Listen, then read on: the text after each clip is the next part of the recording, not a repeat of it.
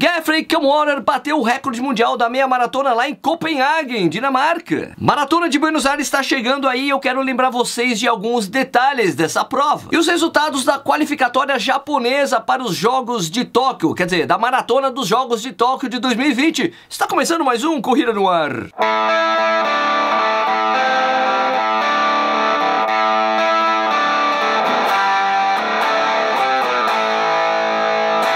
News.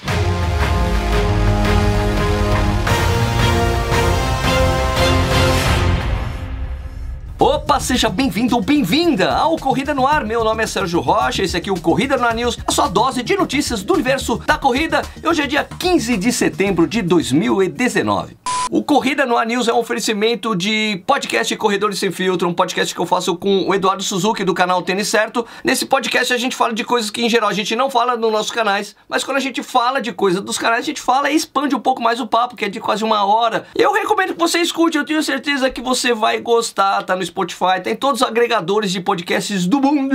É, eu vou deixar o link aqui na descrição para facilitar a vida de vocês. O próximo domingo aí é dia da maratona de Buenos Aires e se você vai correr essa prova, espero que você chegue muito bem preparado ou muito bem preparada para ela. Nesse Corrida na News eu queria deixar alguns lembretes para essa prova. Bom, primeira coisa, o percurso mudou, eles tiraram uma subida maldita que tinha no quilômetro 41, que você subia lá para depois ver o Monumental Del Núñez, né? O estádio do River Plate não tem mais isso aí. Ainda bem, né? Porque subida no quilômetro 41 ninguém merece. O percurso continua predominantemente plano, mas tem alguns sobes e desces lá. Você vai passar pela região do La Boca, onde tem o estádio do Boca Juniors, duas vezes ida e volta. Você também vai passar pelo Perto Madeiro. A prova tá mais sinuosa do que nos anos anteriores, né? Tem muita curva por lá, viu? O meu amigo Leonardo Murglia, que tem um canal no YouTube de corrida lá na Argentina, fez um vídeo analisando o percurso e a altimetria da prova, então eu recomendo que você assista esse vídeo o quanto antes. O link tá na descrição. Outro lembrete necessário é que, cara, você precisa levar um exame médico para você retirar o kit dessa prova. Sem exame médico você não tira nada, não te entregam nada, tá bom? Isso é uma lei municipal de Buenos Aires, então não tem jeito, não tem como escapar. O site da prova tem um formulário lá padrão, basta você clicar lá, imprimir e levar para o seu médico de confiança e pedir para ele assinar e carimbar para você. O lembrete final é que se você não for ficar hospedado nas imediações da largada da prova e principalmente se você vai ficar na região central, eu recomendo que você use os serviços de transfer do meu amigo Lúcio Runner. É muito difícil pegar táxi Uber antes dessa prova, né? E se você consegue pegar o táxi Uber, ele te deixa próximo à largada, você tem que andar muito. Quem já correu essa prova sabe do que eu estou falando. O serviço de transfer do luxo custa 60 reais fixo, e volta, tá? Se você quiser usar só a é 60 reais. Só a volta, é 60 reais. Se você quiser ida e volta, 60 reais. Ai, Sérgio, tá mais caro do que o da meia. Tá mais caro porque a inflação na Argentina tá complicada mesmo. Muito mais complicada que aqui. Mas, Sérgio, o horário do transfer é muito cedo. É muito cedo para evitar os bloqueios. Você chegar lá tranquilinho, poder deixar suas coisas no guarda-volume, aquecer, ir pro seu curral e correr tranquilo e fazer o seu melhor lá. O link pra página do site do Corrida no Ar com todas as informações sobre os transfers do Lúcio está aqui na descrição.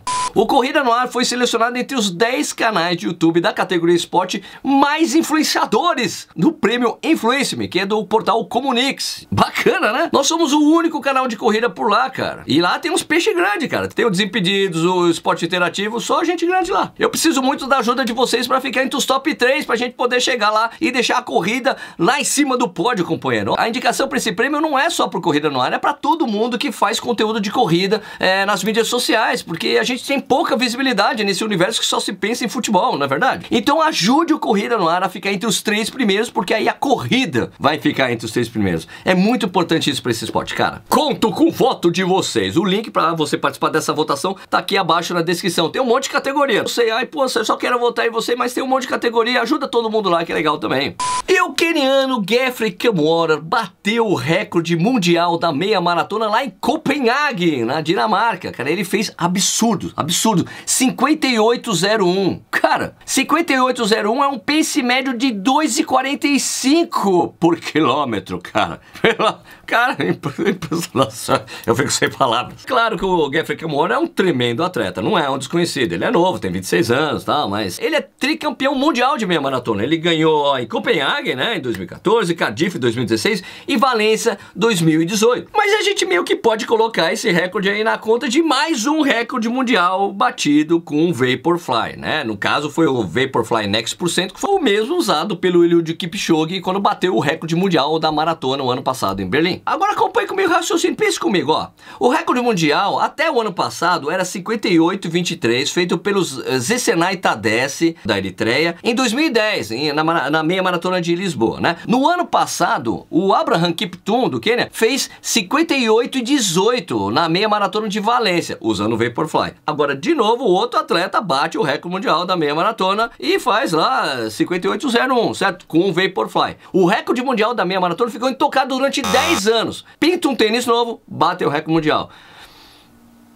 Ó, oh, mas o recorde do ano passado do Abraham Kipton tá meio insuspeita ali, porque ele foi pego no passaporte biológico antes de estrear na maratona, na maratona de Londres esse ano e não correu. É um cara que tá suspenso aí por dope. Bom, mas de qualquer forma é mais um recorde com atleta usando um Vaporfly. Tem na maratona, tem até na Conrads recorde com Vaporfly, companheiro. Então não é à toa que tem tanto atleta que é patrocinado por outra marca que camufla o Vaporfly para correr com ele nas provas. Eu já dei minha opinião sobre o Vaporfly no review que eu fiz é, dele, né, aqui no canal. Vou deixar o link aqui abaixo na descrição. Bom, então vamos aos resultados da meia maratona de Copenhague, né? Na primeira colocação, Greffer Kamwara do Quênia com 58,01, recorde mundial, absurdo. Bernard Kipkorir Nigemo com 59,16, segunda colocação. Terceira colocação, Berramo Wendemo Tsegu com 59,22. É, Edwin Kiprop Kiptu com 59,27 na quarta colocação. E Amos Kurgati com 59,37 na quinta colocação. Entre as mulheres, Birham de Baba venceu com uma 5,57. Evaline Shirshi ficou na segunda colocação com uma 6,22. 2022. Dorcas Tuitoek com uma 6,36 na terceira colocação.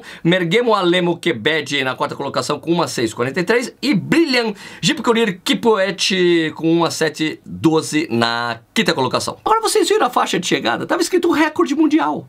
Olha só a confiança que a organização tinha botado no Cão Hora que ele ia bater o recorde mundial. Eles fizeram a faixa para sair na foto. Ficou interessante isso aí, né? Eu lembro também vocês que Copenhague se juntou a quatro outras provas para formar uma espécie de meias maratonas majors, né? É Copenhague, Praga, Lisboa, Valência e Cardiff. Eu falei sobre isso no último Corrida no News, eu vou deixar aqui na descrição para você entender melhor o que é essas é, meias maratonas majors, né? As super halves. Bom, rolou na manhã desse domingo a qualificatória japonesa da maratona para os Jogos de Tóquio 2020. Esse processo de qualificação lá no Japão é diferente do, do modelo americano, né? Que os três primeiros é, que chegarem lá, tão classificados, já vão correr as Olimpíadas, né? A única coisa que ficou de igual é que a, IAAF estabeleceu que essa prova que eles fizeram lá é uma prova selo ouro, só tinha apartado de elite, era só para tentar se qualificar para os Jogos, tá? Nesse modelo japonês, só os dois primeiros estão garantidos para os Jogos, né? A terceira colocação depende de algumas coisas e eu vou explicar para vocês. Então, primeiro, é, entre os homens, a, a, as duas vagas estão garantidas para o Shogo Nakamura, que ganhou com 2:11:28,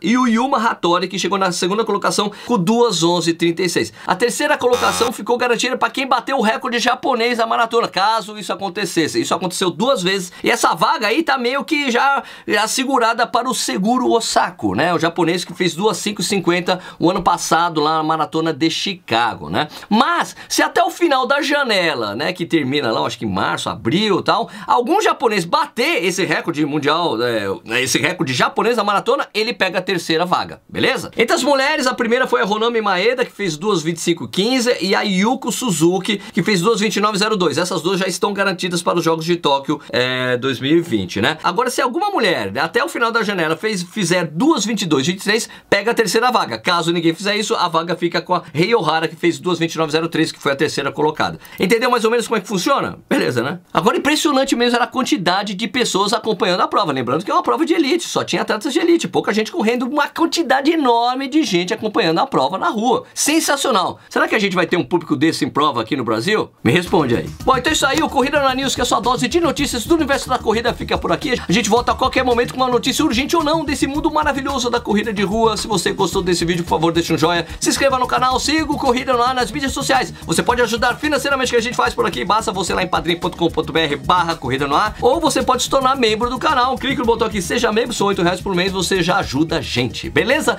Se você assistiu esse vídeo até agora, muitíssimo obrigado e até a próxima. Fui!